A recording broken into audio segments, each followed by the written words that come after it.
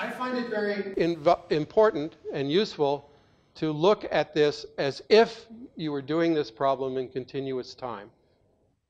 You can then approximate the requirement in continuous time with discrete time if you want, but this gives some insight into the question that's being asked. If I make this continuous time, here is the measurement error, here is the model error. This is an action principle that we often learn about in mechanics classes or in books on calculus of variations. In order to get an extremum, delta A equals zero, it requires solving the Euler-Lagrange equations. Look at the Euler-Lagrange equations for this standard action. Here are the dynamics of the underlying model. Here is an additional factor due to the fact that this uh, dynamics is second order in time because it involves x dot squared. And on the right-hand side, there's a term that comes from the measurement error, and this is nudging. Nudging comes directly out of the formulation of this, of the data assimilation problem as a statistical physics problem. And uh, what can I say? There it is. The nudging, by the way, comes in an equation in which the boundary conditions are that the canonical momentum, namely the variation of the Lagrangian, the integrand here with respect to x dot, uh, is zero at both ends. And that's because we're calculating an average over a path, and we're varying all of the x's, and the condition that this be the correct equation requires this boundary condition, not ones that are often quoted in the literature. That answers a different question, but not this question. All right, this is a little story on how one can determine the global minimum of this action. There's a general theorem that says if you have a nonlinear function, it is an NP-complete problem to determine the global minimum. However, there's a little line at the end of the theorem that says in special cases you can do it, even though it's NP-complete for the general case. Well, we have a very special case here, and here's how we do it. If we were to turn this coefficient, RF, which is the inverse covariance of the model error, to zero, then we're just left with a standard quadratic problem in the measurement subspace. We can solve that problem. We know what the global minimum of that is. That's trivial. And then by turning RF, namely the quality of the model, on a little bit at a time, we can stay in the global minimum in an adiabatic way and track it as RF gets bigger and bigger. I'll show you how that works. Okay? And what I'm going to do now is show you the result of doing this on a Hodgkin-Huxley model, and then on a familiar model to many of you, namely the Lorenz 96 model, which you described, you assigned a bunch of students a few years ago not using the methods that I'm talking about, but using perfectly lovely methods, okay? All right, so I'm going to show you a plot of the action on different paths as a function of the logarithm of the strength of the model errors. Here's the simple model. This is Hodgkin-Huxley again. It has dimension four, and we can make one measurement. And uh, the observation function is that we actually observe the voltage plus noise. All right, here's, here's the, this is a, a simulation. Here's the data. Uh, we do standard, we do annealing. Now, what does it mean to do annealing? What we do is we go to very small RF, uh, and we look at 100 different possible initial conditions on the action.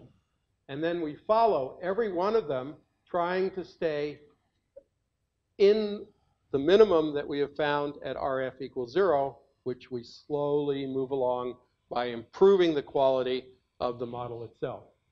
You can see that as RF gets big enough, if RF went to infinity, that would be deterministic dynamics, no model error, x equals f of x as a delta function. But you can see that as RF gets bigger, some of the action levels go off and live up around here.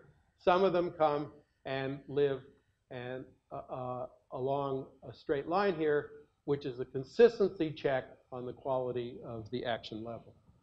If you take this path in this example, the path that gives the lowest action, it gives excellent predictions in the simulation for both the things that are measured, the things that are not measured, and all the parameters.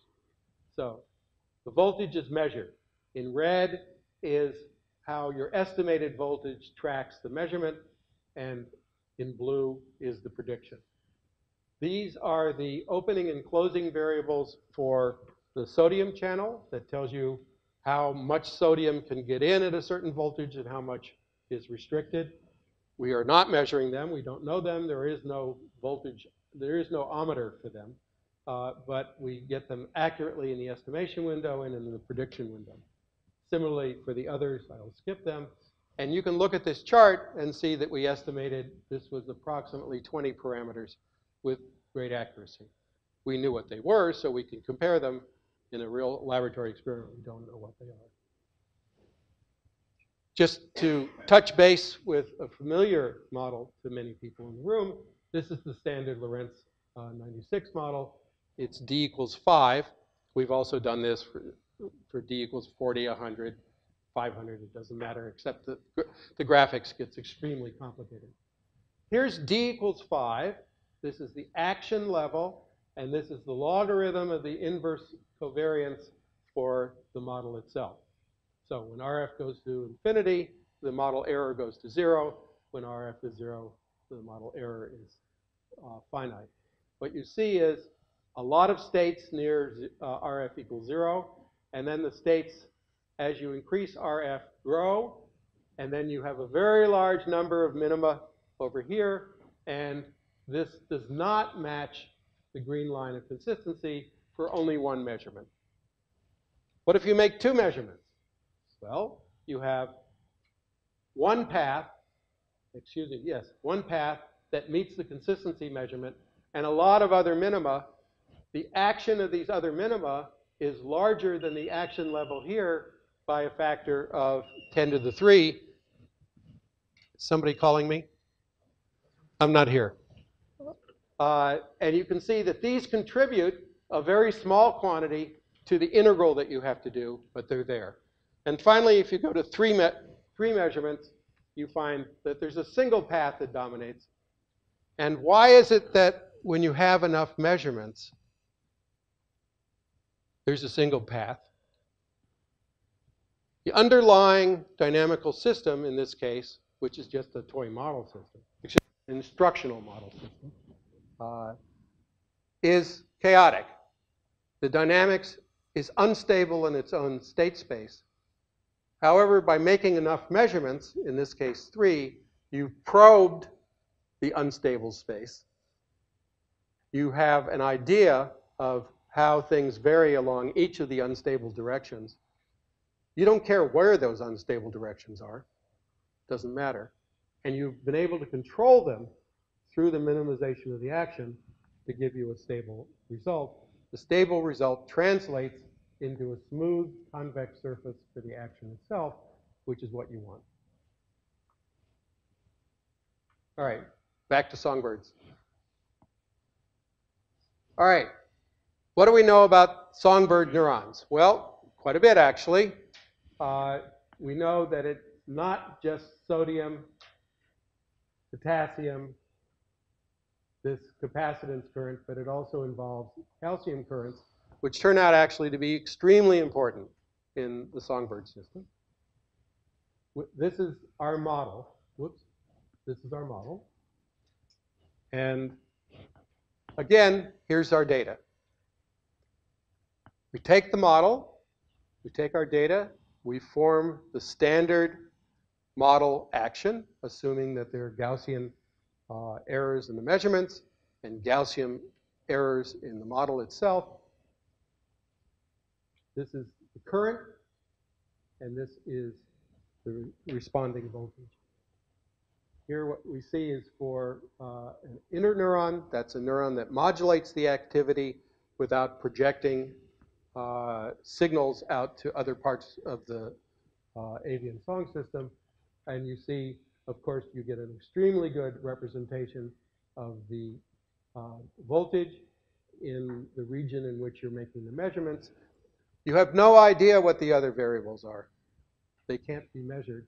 And you can see that you get an extremely uh, accurate representation of the um, uh, prediction as well in blue.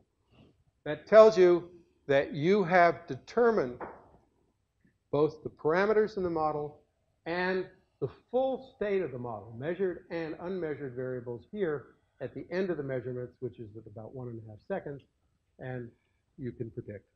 That means your model is good to go into a network model. Here's another example. And I think there's not, a, not a third example. All right, because I either have six hours and 27 minutes, or more likely six minutes and 25 seconds. Uh, I think we all are hoping for the second. and I want to tell you how we use uh, data assimilation methods in a related but rather different direction. The idea is the following. I said it earlier, but I want to say it again. Suppose we have constructed a model of, for example, how the song system works. In qualitative sense, the song system produces bursts of acoustic energy that we call syllables, just as when we speak or vocalize for communication, we produce bursts of acoustic energy called syllables. Between those syllables, there's a pause. The bird breathes. And there's another syllable there's a pause. There's another syllable. The creation of those syllables and the syntax, the order and the nature of the syllables is distinct to individual birds. It can be rather simple or it can be very complex.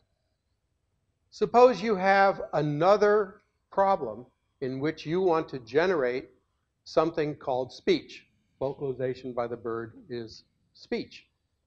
It's not any of the languages that any of us in the room speak, but it is the language that zebra finches or Bengalese finches or sparrows or thousands of other species of bird do speak. But you'd like to produce that signal not at the millisecond time scale or the 100 millisecond time scale of the collection of syllables that makes up a piece of information. But you'd like to do it at gigahertz. So you'd like to transfer your knowledge of what goes on in the actual avian brain into a silicon chip and then use that chip for whatever application you might want to use. It could, in fact, be for medical applications, or it could be for uh, giving instructions uh, in, uh, on a time scale which is much, much faster than the way the bird has to respond. Think of an airplane pilot getting instructions on how to maneuver an aircraft peaceful airplane. All right. Here's the problem. You design the chip and you send your design, beautiful design on a piece of paper, all the lines are connected and this wire is connected to that. You send it off to a factory and they send you back the chip. How do you know that they made it your way? How do you know that you got back what you asked for? So the first thing you do is data assimilation on the chip to find out how it's in fact connected and what are the strengths of the connection. Second thing you do is you say, wow, with this chip, now that I actually know what the chip is, because the specs that were given by the factory are whatever they told me, and I have no, no other way to check it except that, I can say, suppose I do a, a twin experiment uh, or a OSSE on my chip. So I say, okay, I turn the chip on, I give it some stimulus, and I measure the outputs of the chip, I can measure all of the outputs. And I can say, is there enough information in the voltage alone to determine whether or not this chip uh, is working properly? And finally, when you're satisfied that by measuring the voltage alone, if that's what you can measure, you can then take the chip and use it as the processing center for the data assimilation from real data. And that's what we've done. I'm going to show you uh, this chip. Uh, on the left is a representation of the neuromorphic chip. Actually, it's not a neuromorphic chip. It's just a piece of circuit board that we picked out of a lab and took a picture of. And on the right is sort of a bad picture of the bird brain uh, that I showed you before. That's just supposed to be cute. Okay? This is the part in which you test the chip. You ask whether or not by putting in a, a signal, which you know, you get out by adjusting the parameters on the chip, which you can adjust from outside the chip itself. In particular, you can adjust the links among the sections of the chip by an external, very high-speed bandwidth, high bandwidth communication link. And now this is tested how the chip actually works. And you can, uh, again, this is the estimation window and this is the prediction window. Uh, now we're testing whether or not by measuring only the voltage that comes out of the chip and not the other signals that represent how much sodium, how much potassium, how much calcium, how much whatever it is you have. And so you've now done this twin experiment to test the uh, ability to do data assimilation with the chip. And finally, this is the end of the uh, uh, cycle here. You have another current, another one of our currents that was designed. Uh, uh, and this is the testing of, uh, this is the ability of that chip to learn from the experimental data and produce good predictions. All right, that's it. But let me record what we learned. Everybody has to make a model. I don't have any better way to tell you a good model for coupling the human system with the ocean system and the atmospheric system than anybody else does. But you, you just got to face it. There's no button on this computer or any other computer that says make model. It's up to you. You're in business, and you're not going to be short of a job for a long time. Okay. Secondly, what we've learned from doing this is make a big model. So in the case of neurons, but also in the case of some of the other biological examples that you hear over the next few days, add uh, properties that are biologically uh, plausible that may or may not be there. The data assimilation method will tell you that the channels that are there have a certain conductance, a certain permeability, which I'll call order 1, and the things that aren't there have a permeability of order 10 to the minus 5. So you're actually able to prune a big model into a model which fits, is consistent with your data. Now you use these twin experiments to design the laboratory uh, experiments. I showed you a very complicated input current. You don't find those in mainstream neurobiology. What you find typically is a current which is zero, a step function to a certain voltage, and then off. Right? They don't actually work very well, but they're, they're standard. Here what you do is you ask, what do you need to do to stimulate all of the degrees of freedom and to probe all of the parameters in the model? And that's what you can do here. Do experiments to determine the consistency of the model with the data, and then validate the model by doing predictions use Mr. Laplace's method and computable corrections to determine the consistency of those numerical methods. The standard model had Gaussian errors in the measurements and Gaussian errors in the model. The coefficient of the Gaussian errors in the model I called RF. It was the inverse covariance of those errors. As RF goes to infinity, you can prove by expanding around the solution to uh, 4D-Var, by the solution to delta A action equals zero, that all of the terms in the expansion are small. To my knowledge, there is not a demonstration, I certainly wasn't able to do it, of what happens if you assume that you have a fat distribution instead of a skinny distribution for those errors. Take a Cauchy distribution a power law distribution instead of a Gaussian distribution. One ought to check what those are because the tails may matter. And certainly the accuracy of your ability to do the integral may matter. If there are not enough measurements, you have two choices that I know of. One is go get more measurements. In the case of numerical weather prediction, that can be extraordinarily expensive. just saying that is laughable unless you happen to have a few billion US dollars uh, ready to invest in various sensor uh, mechanisms. But you can also use the fact, as I pointed out in the general formulation of the action, the fact that the measurements are not, in fact, independent. They depend on each other, and if they didn't, you could never get the model X, which satisfies the dynamics. So X at t minus 1 is, f of x at t minus 1 is equal to x of t. You could never get that to match the y's, the measurements. So there's information in the derivatives of the measurement, the second derivatives, and so forth. If you're living in discrete time, as we all do, uh, you can use the, from nonlinear dynamics the method of time delays to extract out that additional information. And finally, I just repeat the last item that I talked about using data assimilation.